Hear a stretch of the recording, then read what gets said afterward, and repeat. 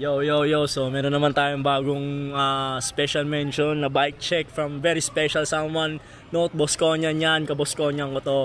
Look forward. Or meron tayo dito ngayon. Full set build ng Scream ano. This uh, pink. Di ko alam kung anong specific pink. Size 56. Scream. Makikita nyo yan. Very latest. Although binili to siya around 2 years ago na. Na-stock lang kasi siya according dun sa user kasi meron silang bet apparently ng kanyang jowa, no? Sana all. Binili to sa, para sa kanya ng jowa niya. Diba? Shish talaga. Shishable na lang tayo dyan. Anyway, start tayo dito sa saddle, no? Ito tayo saddle. Fabric Scoop Elite na for, ewan ko nakalimutan ko yung size. Then punta tayo sa seat post, of course, classic Thompson uh, Elite zero setback seat post.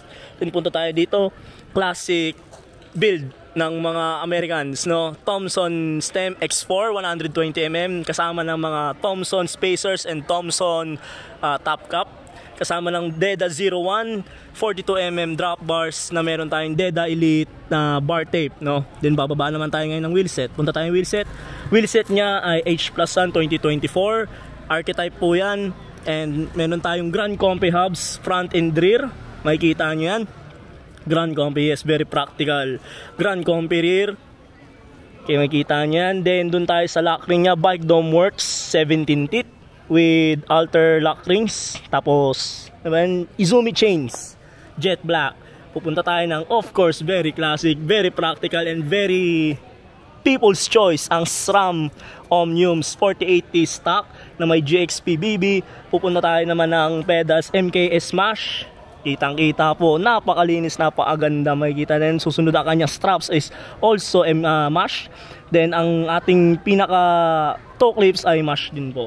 So yan ang pinaka build ng very beautiful, very large user ng bike. Hindi ko alam ba't ako yung pinag-bike check niya. Ayaw niya kasi magpakilala. So once makita niyo tong build na to and may nakita kayong higante, siya na yun. no?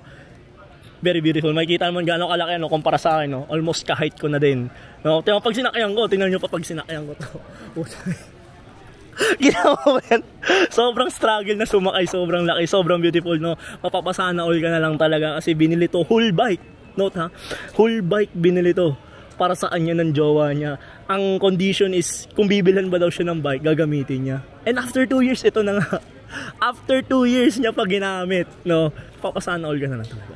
No, alright, this is Agni with another bike check from Special Salmon. Di kasi gusto magpaba, magpabanggit. So, yeah.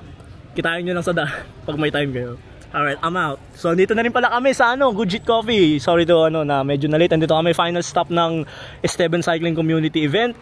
Community Cycling uh, from galing po ng 1C Coffee Shop yan. Then stop over ng Pasig River. Konting get together. So, note first time ko lang po. Ito yung pinakaunang event ko na napuntahan after ng pahinga ko uh, sa school, no? So, very good to see new people. Very good to see lalo na yung mga old people. Mga dati kong nakilala, sila Jul, yung may-ari nito. Siyempre, special mention na dun sa mga bagong kasama, no? Si Mark, si... Ah, ah, ano yung isa? Si Johnny, si Yani. Sorry, si Sherman, si Dan, shoutout yan. Mga AMC boys yan, okay? So next time, abangan nyo ulit yung susunod na vlog ni Jul. Out. Thank you.